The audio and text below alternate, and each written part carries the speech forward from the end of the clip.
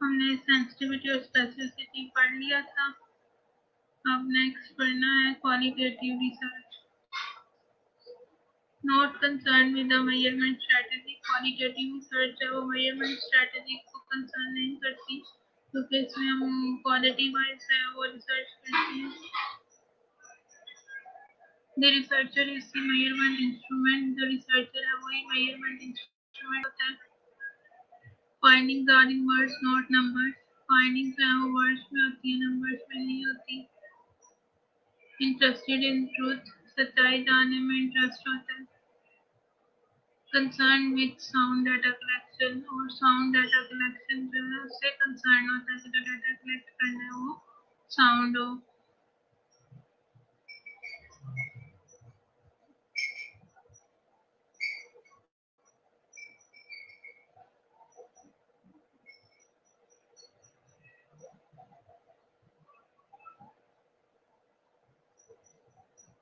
Effective data collection must be clear, unbiased, reliable, valid, a design that answers the question. जो effective data collection है वो clear होना चाहिए, biasness से free होना चाहिए, reliable होना चाहिए, valid होना चाहिए और एक ऐसा डिज़ाइन होना चाहिए जो कि सारे क्वेश्चंस को आंसर करे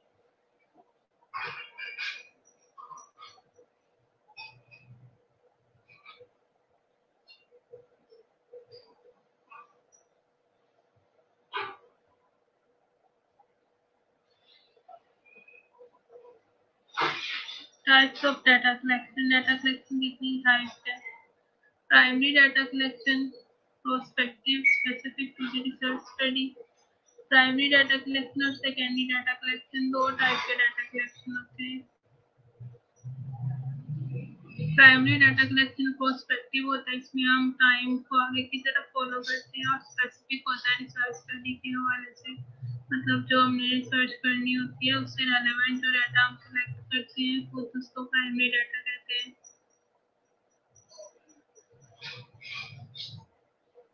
Secondary data collection retrospective usually collected for a different purpose, for example vital statistics secondary data जो होता है, वो retrospective होता है, back in time, और वो किसी और पर्पस के लिए इकट्ठा किया गया होता है, लेकिन हम उसमें से अपना डाटा भी इकट्ठा कर लेते हैं तो उसको कहते हैं secondary data. प्राइमरी डाटा का स्पेसिफिक पर्पस होता है रिसर्च स्टडी के लिए ही, वो स्पेसिफिकली कलेक्ट किया जाता है, लेकिन सेकेंडरी डाटा जो है उसका पर्पस और होता है, वो किसी और पर्पज के लिए कलेक्ट किया जाता है, लेकिन बाद में हम उस डेटा से अपने जो नीडेड मटेरियल होता है, वो निकाल लेते हैं।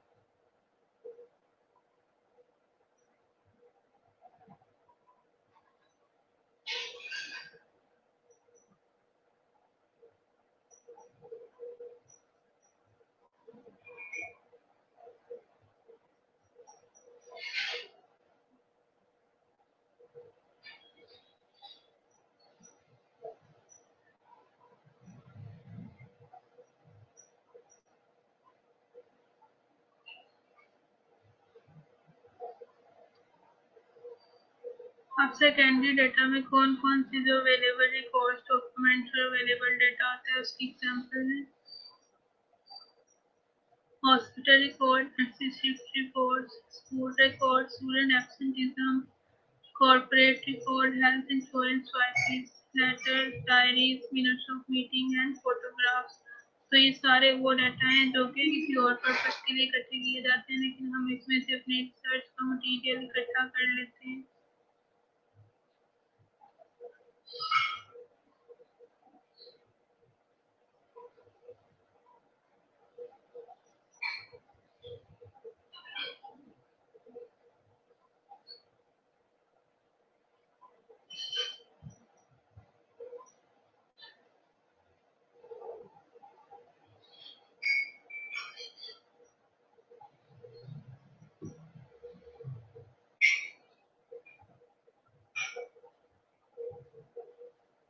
Dimensions of data collection approaches dimensions कौन कौन सी है structure and data collected from all subjects structured the same way जिन सब लोगों से data collect किया जाना है उसका same way होना चाहिए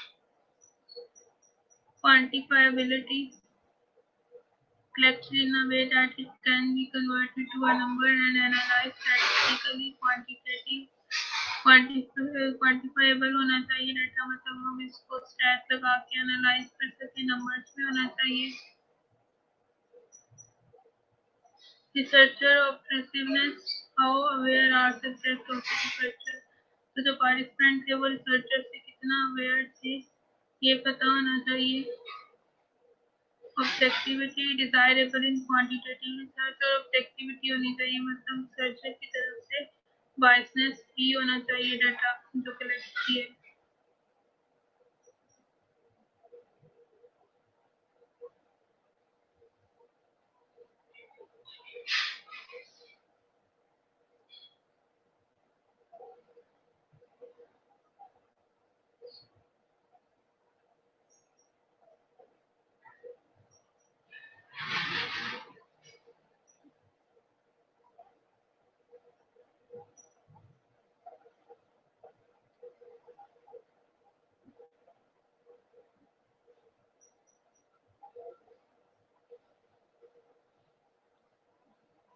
Steps to developing a sound data collection approach. Define purpose for collecting data. Select feasible data collection approach. Select delivery method appropriate for design and subject. Write protocols for collecting data. Realistic, reliable and thorough. तो steps क्या है sound data collection को develop करने के purpose पहले आपने बताना data collection का फिर फिजिबल डाटा कलेक्शन अप्रोच बतानी है। फिर सिलेक्ट करना है delivery method appropriate for design and subject write करना है protocols for connecting data realistic reliable and thorough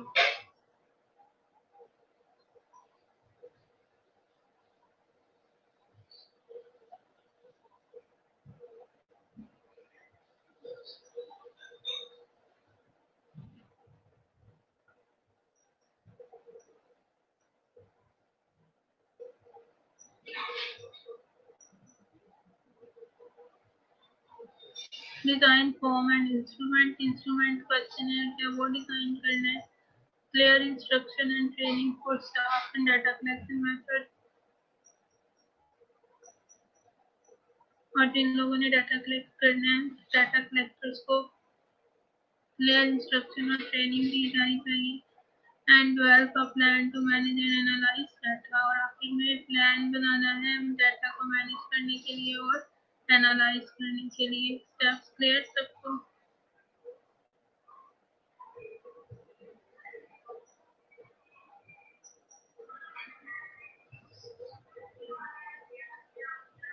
आवाज़ आ रही है मेरी सबको?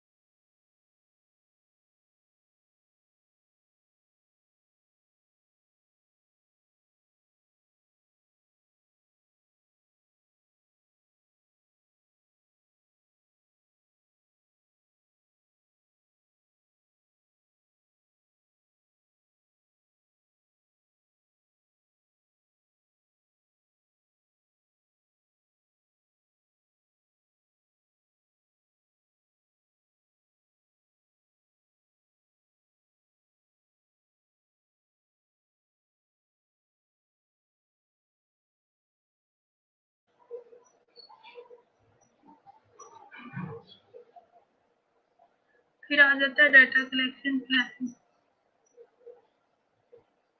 basic decision is use of primary new data collected specifically for research purpose और secondary existing data record historical data existing data set फिर decision करना है कि आपने कौन सा डाटा जो है वो यूज़ करना है। प्राइमरी डाटा या फिर सेकेंडरी डाटा प्राइमरी डाटा जो स्पेसिफिकली रिसर्च पर्पज के लिए इकट्ठा किया जाता है और सेकेंडरी डेटा तो एग्जिस्टिंग डाटा होता है, जो किसी और पर्पज के लिए इकट्ठा किया जाता है, लेकिन हम उसमें से अपना डाटा भी निकाल लेते हैं। उसमें आ जाता है रिकॉर्ड हिस्टोरिकल डाटा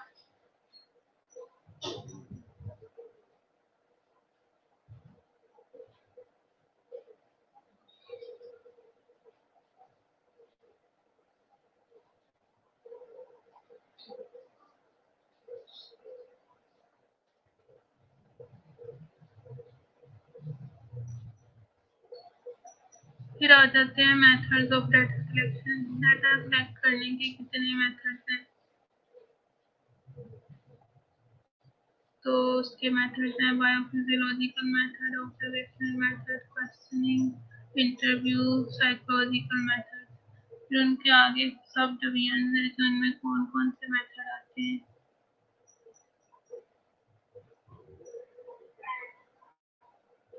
बायोफिजियोलॉजिकल में in vivo method in vitro method observational में rating scales checklist anecdotes video tapes tape recorders questioning में questionnaire opinion opinion Likert scale visual analogue scale interview में interview schedule opinion psychological methods में project technique use vignettes तो ये सारे चाहिए data select करने के मेथड्स इनको हम डिटेल में पढ़ेंगे।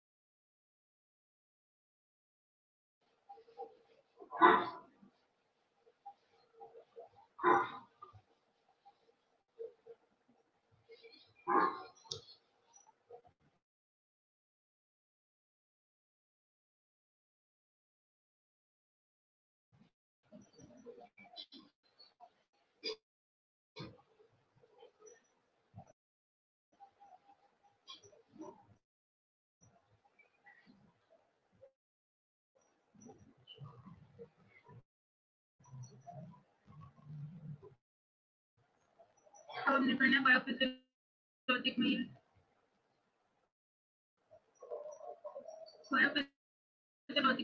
measurement method is to quantify the level of functioning of living beings. Some of the most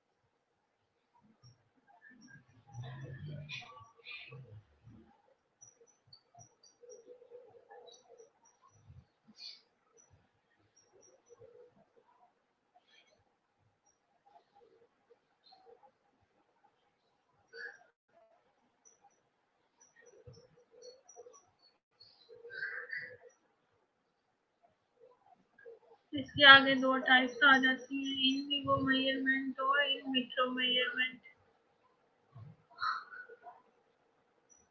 In vivo measurement performed directly within or on living organism, for example, blood pressure लेना या pulse check करना ये इन vivo measurement कहलाती है। इसमें क्या होता है? डायरेक्टली लिविंग ऑर्गेनिज्म के ऊपर से ये जो है वो अंदर की मेज़रमेंट ली जाती है। मतलब ब्लड प्रेशर इंसान के अंदर का प्रेशर है ना ब्लड का तो जो अंदर की मेज़रमेंट है उसको इन विट्रो कहते हैं। इन इन वीवो कहते हैं। इन विट्रो में perform outside the organisms organisms body और इन विट्रो में जो है ना आउटसाइड परफॉर्म किया जाता है। इन वीवो में इनसाइड में लिविंग ऑर्गेनिज्म की मेज़रमेंट ली जाती है और इन विट्रो में आउटसाइड लाइक यूरिन एनालिसिस करना। तो in vivo in vitro clear हो गया सबको।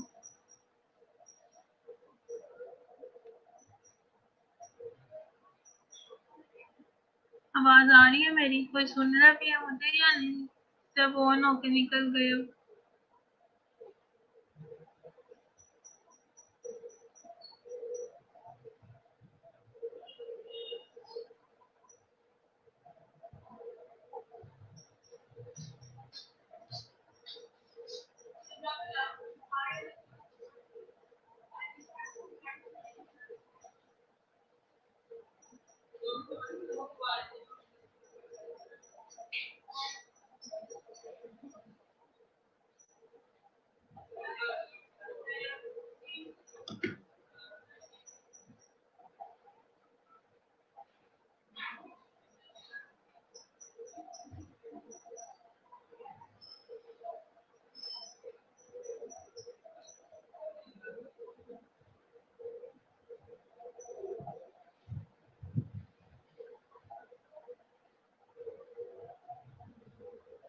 और इन मीटरों मेज़रमेंट क्लियर हो गई है सबको।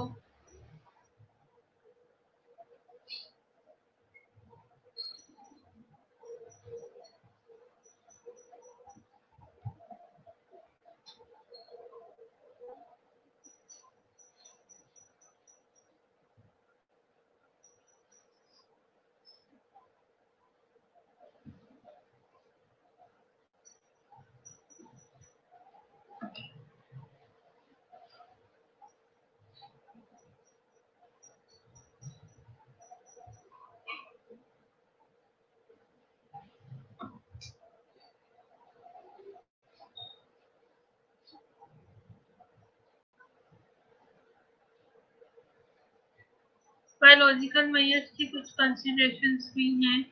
The procedures for obtaining the measures should be clear. जो procedure है measure को obtain करने के लिए वो clear होना चाहिए.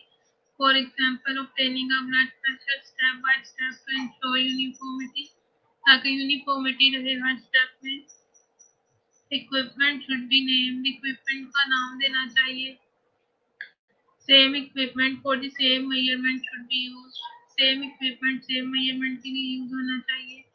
Mention of calibration represent reliability और कैलिब्रेशन जो है उसके ऊपर, जैसे बीपी ऑपरेटर्स के ऊपर कैलिब्रेशन होती है तो वो होनी चाहिए ताकि रिलायबिलिटी जो है वो मेंटेन रखी जा सके।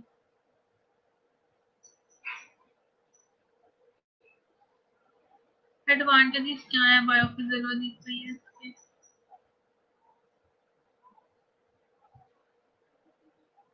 biophysiologic methods are more objective in nature मतलब इसमें रिसर्चर जो है वही बताता है, ज़्यादातर मेथड्स को मेजरमेंट्स को सब्जेक्ट जो है उसको नहीं पता होता।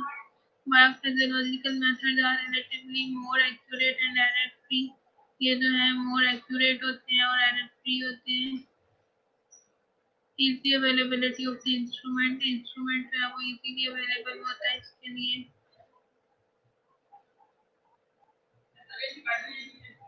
It is unlikely that a subject can deliberately distort physiological information. और ऐसा नहीं होता कि सब्जेक्ट जो फिजियोलॉजिकल इंफॉर्मेशन को प्राप्त कर दे क्योंकि ये तो ऑब्जेक्टिव इन नेचर है तो इसलिए बाइसनेस जो है वो नहीं आती सब्जेक्ट की तरफ़ से इसमें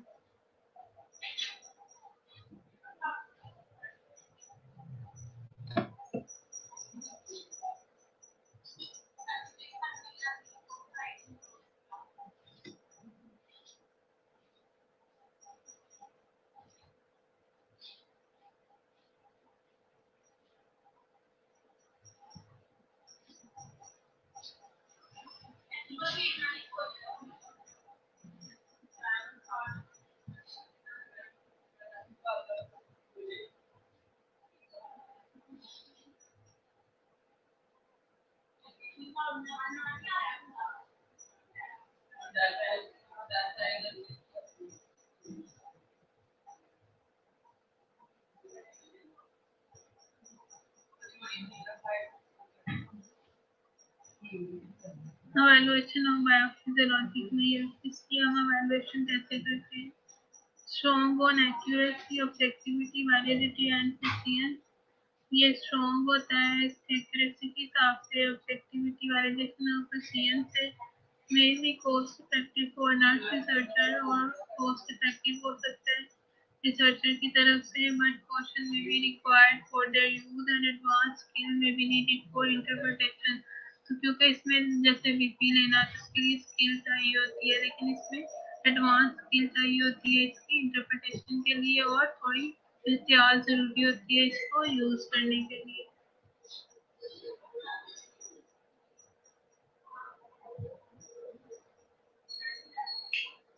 नेक्स्ट है observational methods